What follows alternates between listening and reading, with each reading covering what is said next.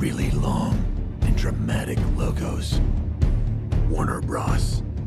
Why not Warner Brothers? I don't know.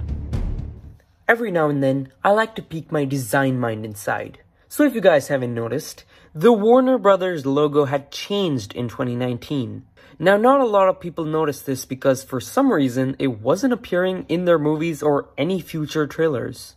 They sure changed the logo on their social media profile pics though, and that was a long time back.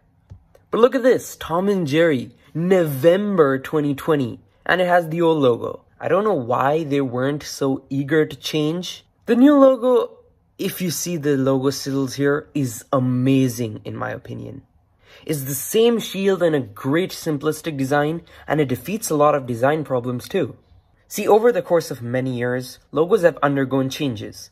Back in the 1900s, logos tended to be 2D, and that was the style for the most part. But as the 2000s approached, the logo logos headed to 3D, you can see that this was the old logo of Warner Brothers before this one. Now why is this important? Because in modern times we've gone in fact back to 2D.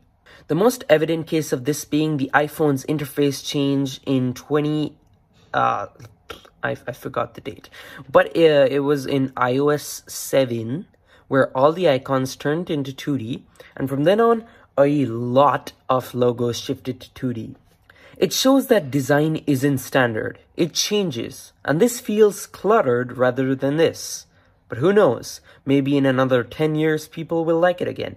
And that's why this logo is so great. They've integrated 3D into it.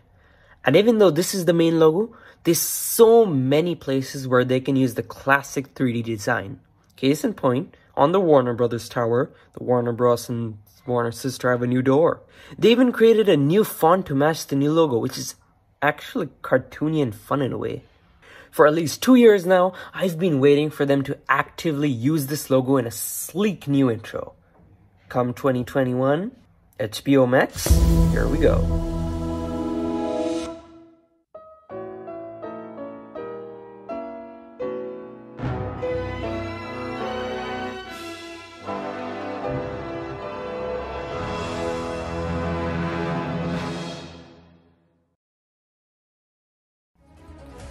I'm honestly such a big fan of 2D logos, but Warner Bros. helped me embrace both, and that's why the latest Dare to Dream Blue Tiger art has both 2D design and 3D, because the lighting looks cool.